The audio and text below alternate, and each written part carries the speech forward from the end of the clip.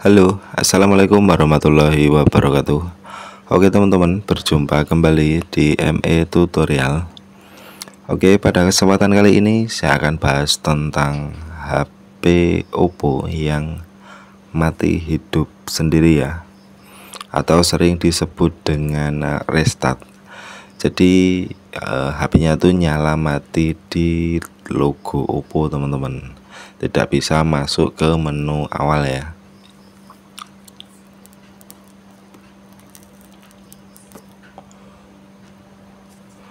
Oke, sebelum kita cari uh, solusi tentang cara mengatasi HP Oppo yang mati hidup sendiri ataupun restart, uh, kita bisa cari tahu dulu di mana letak penyebab uh, restartnya. Biasanya yang sering terjadi baik itu di HP Oppo ataupun HP yang lain yang mengalami nyala mati seperti ini itu karena shot ataupun konslet di tombol on off. Jadi tombol on off nya itu selalu connect ya meskipun tidak kita tekan teman-teman. Entah faktor kena air atau penggunaan ya. Kemudian eh, masalah yang kedua itu biasanya karena baterai. Jadi untuk memastikan kita bisa coba cas dulu HP nya jika HP-nya kita cas dia bisa masuk ke menu awal. Itu biasanya permasalahan di baterai. Tapi kalau kita cas dia tetap restart terus menerus. Itu ada kemungkinan konslet di tombol on off ya. Oke dan di sini setelah saya coba tancapkan cas ternyata eh, muncul logo petir dan menunjukkan pengisian daya langsung coba kita nyalakan sambil kita cek untuk memastikan letak kerusakan di HP Oppo ini teman-teman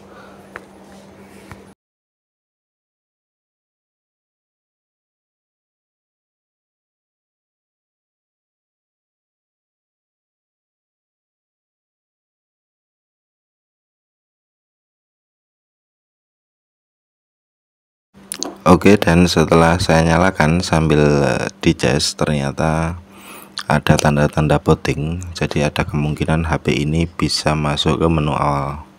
Jadi kemungkinan besar kerusakan di baterainya. Dan untuk baterainya itu ternyata masih banyak ya. Tadi masih ada 47% jadi tidak dalam posisi drop atau kehabisan daya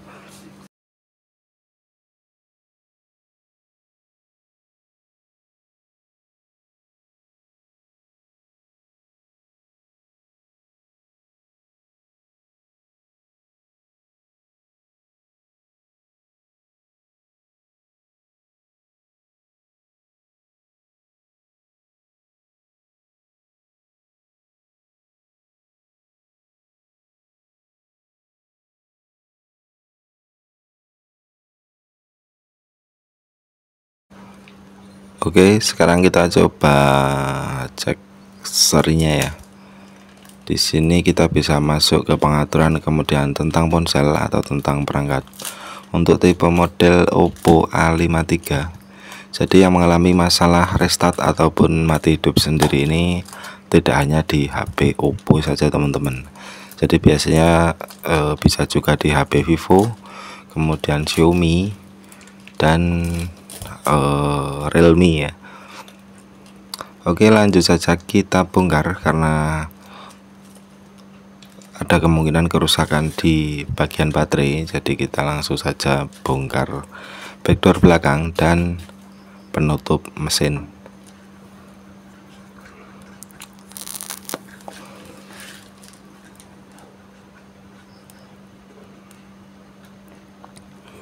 Oke teman-teman. Dan untuk HP yang masih menggunakan baterai original itu memang sering mengalami masalah seperti ini. Entah karena faktor usia atau e, penggunaan ya.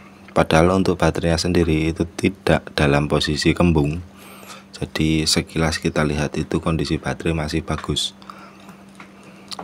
Oke lanjut kita lepas baterainya ya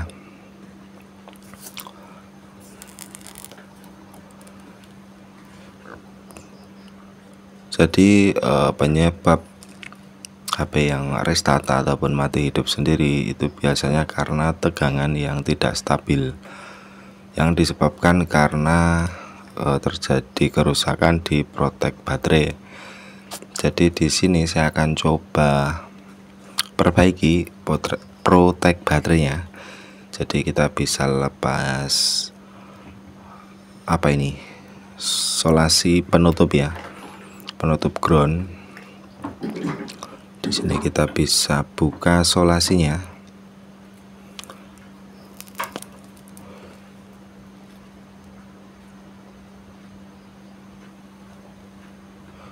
Dan kita jumper langsung di tegangan baterainya teman-teman.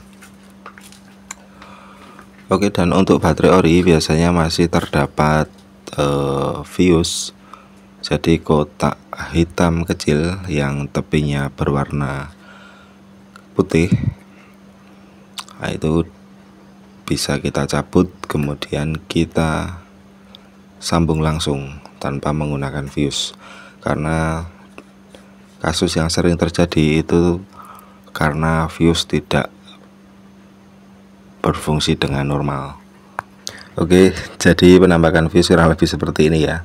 Kotak kecil yang tengahnya berlogo huruf. Jadi bisa P, ataupun LK ya.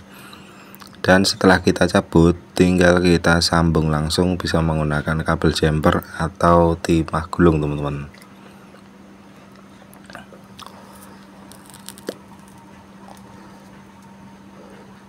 Dengan tujuan supaya tegangan itu bisa stabil dan HP tidak restart lagi ataupun mati hidup lagi.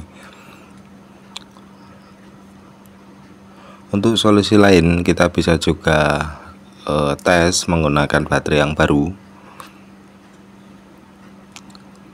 Ya intinya permasalahan seperti ini ada di baterainya teman-teman.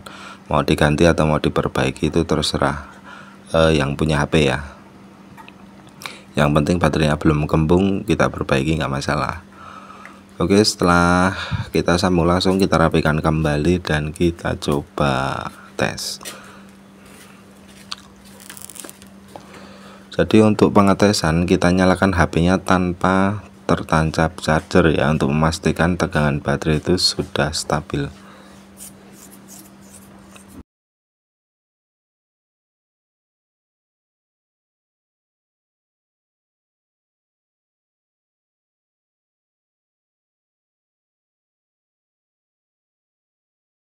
Oke teman-teman. Dan setelah uh, saya sambung langsung di protek baterainya sekarang HP-nya sudah bisa masuk ke penuh tanpa harus tertancap cas.